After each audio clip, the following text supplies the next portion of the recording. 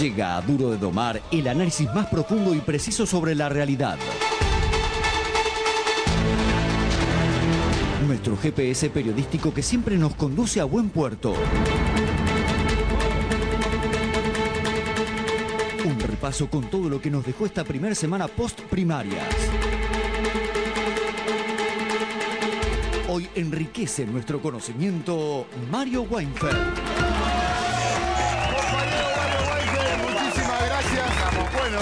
Te, te- te escuchamos. Necesitamos un GPS, pero más o menos la situación ha quedado bastante clara el La domingo situación pasado. quedó clara. Lo que empieza a ocurrir es que, digamos, todos los actores, o sea, todos, todos los protagonistas, todos los candidatos y su fuerza, empiezan a pensar, hay una carrera de 10 semanas, el sentido común dice, no va a cambiar mucho, en general todos piensan eso, se puede decir un poquito más, se puede decir un poquito menos, todos piensan que salvo que ocurra algo asombroso, una catástrofe, se va a repetir la tendencia, el, sentido, la magnitud de la diferencia y demás, la amplísima victoria del presidente. A partir de ahí, tanto el oficialismo, el gobierno, como la oposición están buscando mejorar un poco. Todos quieren sumar algo a lo que tenían y mejorar su posición.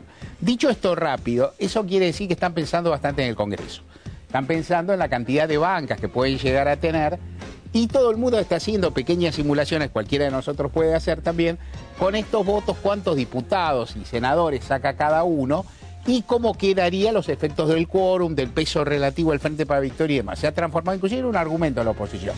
No le dejemos tanta, tanta hegemonía en el Congreso al oficialismo La, porque la conferencia de prensa de, de, de Sanz, de Ernesto Sanz, en el día de hoy, presidente. Correcto. Fue en ese sentido. Fue en ese sentido, diciendo, bueno, y que en algún sentido también dando por perdida la presidencial, pero diciendo, apuntando a eso, denos una mano, aunque sea para hacer un mecanismo de control.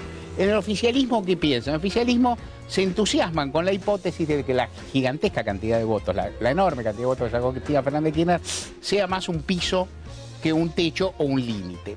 Eh, es difícil pensar que se pueda subir mucho, pero subiendo un puntito acá o allá, si, le, lo pudieran sacar, podrían llegar a tener una situación de dominio relativo, de dominio relativo en el Senado y tal vez estar cerca del quórum propio en diputados, cerquita.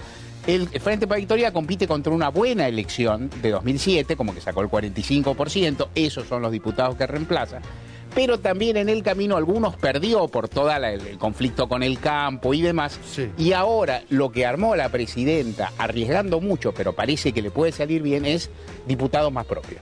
Yo quiero diputados más de mi confianza, no quiero diputados que se me cambien la camiseta en medio del partido si me hacen un gol. Sumado a los que pueden agarrar la garrocha de aquel lado para este lado también, ¿no? El, el peronismo es siempre, los peronistas en general siempre están dispuestos a acudir en socorro al vencedor. Exactamente. ya Entonces sabe. siempre tiene una enorme voluntad en ese Eh, sentido, una eh. enorme capacidad y entonces puede ocurrir, es decir, es más fácil que Sí. haya desplazamientos a favor de quien ganó Sí. que de quien Que perdió. muchos Esto vuelvan habla- al redil, los que se fueron en el Despacito, 2007. haciéndose lo distraído, he tenido una reflexión, he estado Claro. conversando con la almohada y con... Escuché el clamor popular. Sí, el corazón que, de- que- que en general está debajo de la billetera me Sí. dice no sé qué cosa. Digo, puede, puede haber, puede haber, puede haber muchas cuestiones.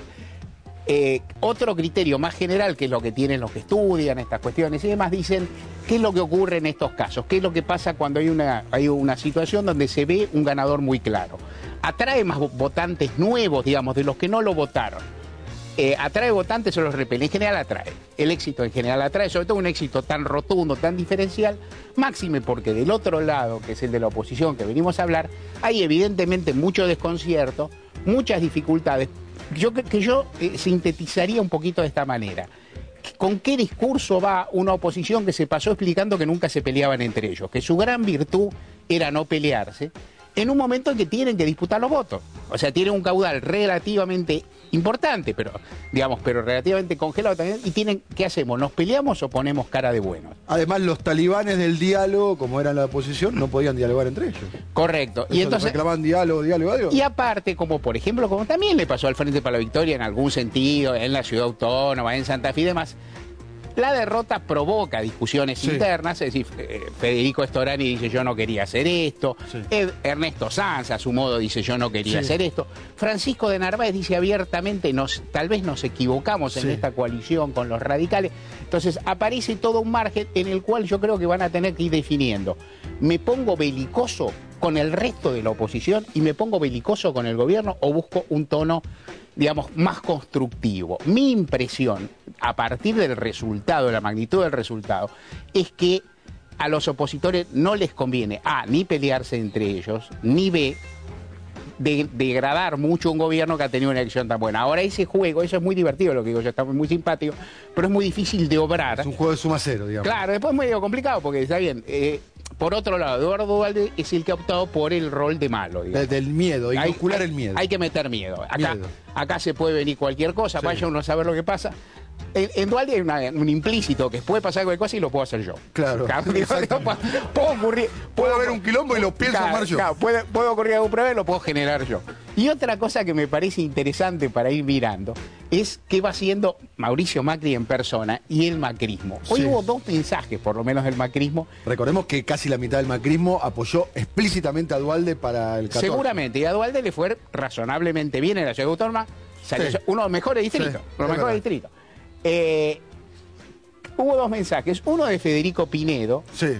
haciendo una especie de propuesta a los otros. Esto, esto también es encantador, ¿viste? O sea, si yo digo- le, le digo, haciendo una propuesta a las otras fuerzas de oposición para que, a ver si dos, dos de los tres candidatos desistían de su candidatura para aclararle el panorama al votante y naturalmente producir una, una derivación a- hacia ese candidato. Todos, todos los demás, todos los que tienen candidatos le contestaron, no molestes, No, no, nos digas esto, ni se te ocurra porque obviamente debilitarían sus listas.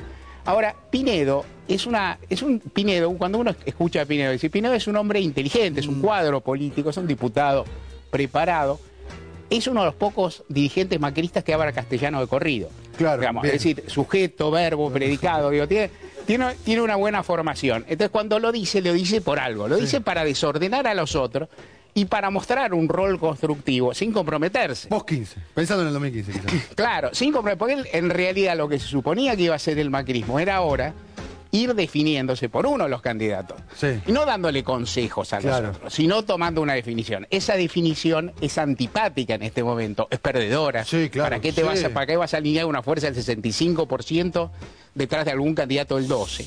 Imagínate. Este, y al mismo tiempo hubo en página 12, salió una columna de Esteban Burrich, Mm. donde hace, no digo un panegírico del gobierno nacional, pero sí una interpretación en el sentido, bueno, si este gobierno sacó tantos votos, no habrá hecho las cosas tan mal.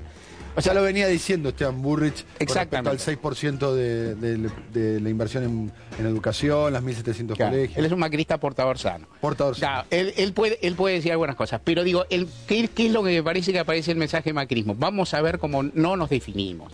Vamos a ver cómo emitimos un mensaje que no nos pone de punta con el electorado mayoritario. Tenemos que quedarnos del lado de la oposición, porque eso es medio evidente. Y Bueno, y a partir de ahí trajinar en la indefinición. Para los otros, para los candidatos opositores, el desafío es mucho, mucho más complejo.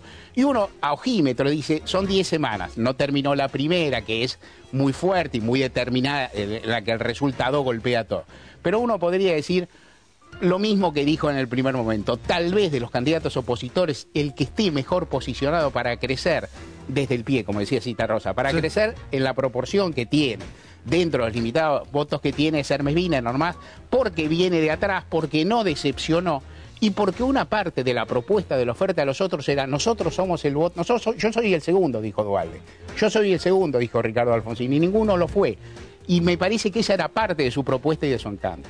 Gracias, Mario. Muy interesante. Te vemos el próximo lunes. GPS Mario Weinfeld lo tenemos aquí.